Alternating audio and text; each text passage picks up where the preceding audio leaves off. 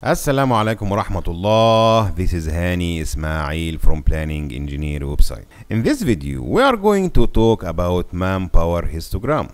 Manpower histogram is very simple, but it is very essential as well. We are going to distribute our man force into groups or hours among the project months, weeks, or whatever. Why we are doing this? We need to see the distribution of the manpower resources over time to detect when we need more resources and when we don't. When reviewing a manpower histogram, we look for the following. The smoothness of the curve, the spikes, maximum average daily manpower, opportunities of resource leveling. For example here, we have here in this month, we have a spike. So we can accelerate some activity in this month delay some activity in this month within their floats. So we have something like a smooth I always like to have a smooth curve but not everything you wish you can achieve.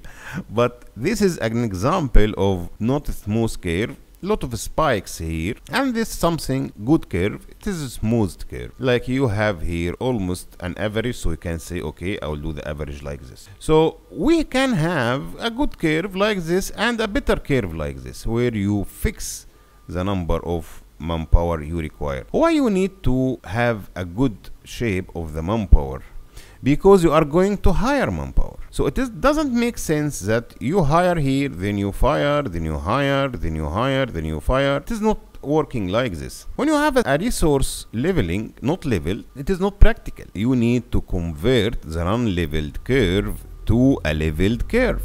Or it is practical to hire people and release them from site we can have our histogram as one histogram for all manpower and this is not the best practice. You need to have the histogram for each profession. Why we need to have histogram for each profession? Because you need to know how many technicians, how many helpers, how many masons you would like to have in your project. Like this called stacked manpower histogram, we have here our resources organized by profession. So I know that in month of September, I need 10 masons, 10 helper, and 8 technicians. However, in the month of May, I only need 2. So I can arrange my manpower accordingly. This is the best practice in the construction field. Same what we did with manpower, we should do with the equipment histogram. I would like to rent some equipment, so I need to know how many equipment I need, what are these equipments, and when it is required. So the equipment cost is high, we don't need them all of the time they cost the money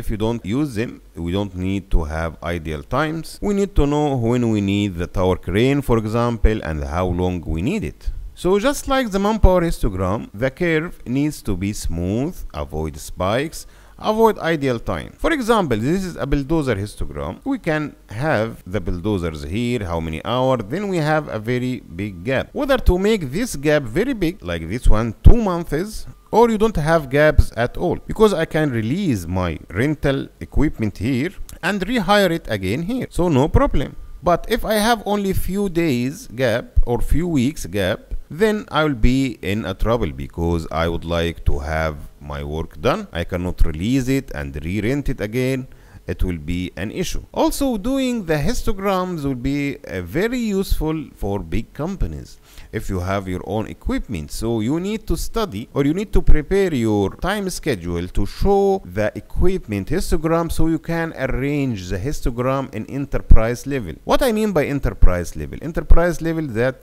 you have let's say three bulldozers you can say okay site number one will have them from this period to this period. Site number two will have them from this period to this period and so on. And you can also change little bit the activities start and finish according to the availability of the equipment. By doing this, you will save a lot of money and we used to do this in big projects. For example, I remember that there was a mega construction project. I was working on it and the company decided to accelerate the uh, construction of the concrete works by two months. So we paid more money to finish ahead of time. You might ask yourself why you do this? Because we had another project that is going to start in the same period. And if we don't dismantle our tower cranes from the ongoing project and install them in the new project, we have to keep renting tower cranes for a period of two years. So the cost we paid to accelerate the project two months saved a lot of money of renting or making our equipment idle because if you don't have the tower cranes, you cannot wait for them. You have to rent tower cranes. So this kind of organizations and project management will be very very useful if it is done in the project. I hope you find this lesson useful to you. See you in the next one.